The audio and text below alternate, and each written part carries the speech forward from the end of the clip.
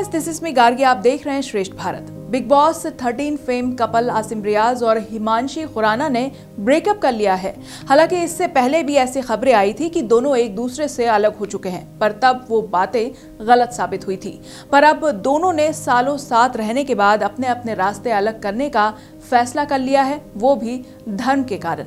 आसिम और हिमांशी के फैंस इस खबर के बाद से काफ़ी शॉक्ड है। हिमांशी ने सोशल मीडिया पर पोस्ट शेयर करके इस खबर की कंफर्मेशन दी है। दरअसल, हिमांशी ने अपने सोशल मीडिया हैंडल से एक पोस्ट शेयर करके अपने ब्रेकअप की खबर को कंफर्म किया है और लिखा है हाँ हम एक साथ नहीं है। हमने जो भी समय साथ में बिताया है, वो बहुत अच्छा था, लेकिन अब हम साथ नहीं है। रिलेशनशिप की जर्नी शानदार थी और हम अपनी ज़िंदगी में आगे बढ़ रहे हैं। हम अपने अपने धर्म का सम्मान करते हुए अपनी अलग अलग धार्मिक मान्यताओं की वजह से अपने प्यार की कुर्बानी दे रहे हैं। हमारे मन में एक दूसरे के खिलाफ कुछ भी नहीं है। हम आपसे रिक्वेस्ट करते हैं कि हमारी प्राइवेसी की रिस्पेक्ट कीजिए, हिमांशी।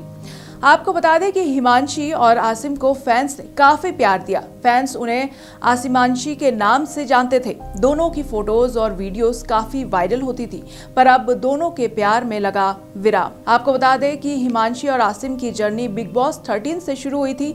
हिमांशी शो में वाइल्ड कार्ड कंटेस्टेंट थी और आसिम हिमांशी के प्यार में पड़ गए थे और पूरे सीज़न उनके साथ फ्लर्ट करते दिखे।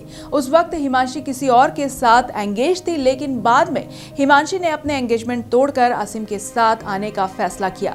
आसिम ने बिग बॉस के घर में ही हिमांशी को प्रपोज किया था और शो से निकलने के बाद भी दोनों साथ रहे, लेकिन अब दोनों ने अपने रास्ते अलग कर लिए हैं। Well that's it for now ऐसे ही और खबरों को देखने के लिए देखते रहिए श्रेष्ठ भारत।